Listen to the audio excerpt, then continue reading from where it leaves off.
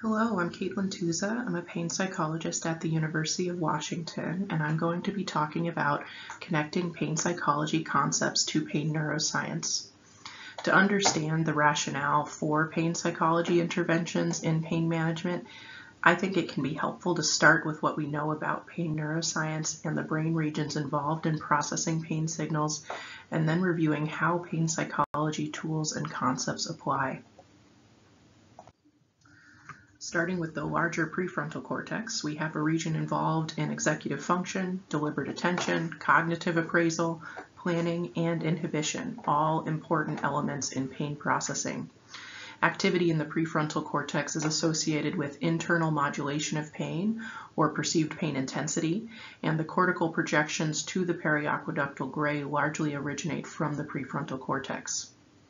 The medial prefrontal cortex is associated with the top-down regulation of sensory, attention, and affective processes.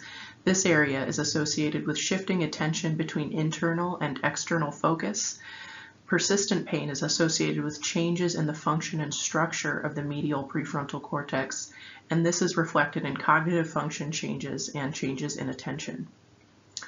Then the right lateral orbital frontal cortex is associated with reward and aversion processes, and importantly for pain, threat appraisal. It may be involved with pain modulation related to reward as well.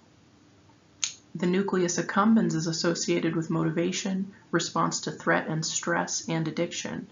The nucleus accumbens seems to play a role in analgesia and theoretically the motivation to avoid pain. It is connected to brain regions involved in sensory discrimination, affect, and cognitive appraisal processes. Of course, the somatosensory cortex, responsible for sensory discrimination, or what hurts and where, and how important is this information? There is evidence of cortical reorganization in the somatosensory cortex for some types of persistent pain.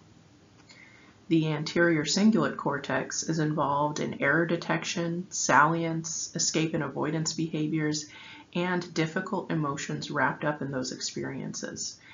Increased activity in this area is associated with greater distress associated with pain. High pain-related distress is associated with reductions in gray matter volume and white matter connectivity in this area, but when patients address and reduce distress, we see increases in volume and connectivity here. Activity in the insular cortex is associated with both acute and persistent pain. The insular cortex is associated with the integration of experience and cohesive awareness of self. It's involved in integrating sensory, emotional, and cognitive processes and with learning and memory. The periaqueductal gray is associated with the descending modulation of pain and also response to threat. Relevant to pain modulation, it receives cortical projections largely from the anterior cingulate cortex and the prefrontal cortex. Of course, the thalamus, doing the hard work of connecting multiple brain regions and relaying messages to and from the body. It's not just a central station though, it's involved in pain processing itself and receives projections from multiple pain pathways. And lastly, the amygdala, which is associated with response to perceived threat. The amygdala plays a key role in emotional and affective responses and learning, such as fear and anxiety. Activity in the amygdala is associated with pain-related emotional responses also, and hyperactivity is associated with inhibition in the medial prefrontal cortex and cognitive function changes.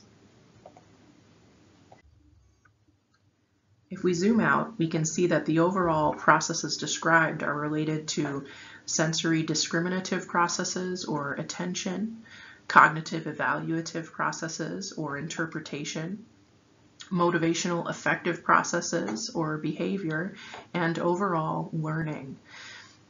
The many modalities in pain psychology use skill learning, behavior change, emotion processing, and desensitization strategies to address maladaptive learning processes and reduce distress associated with symptoms.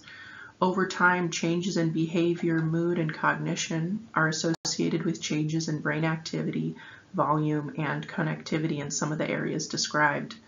I will go into more detail about pain psychology tools in part two.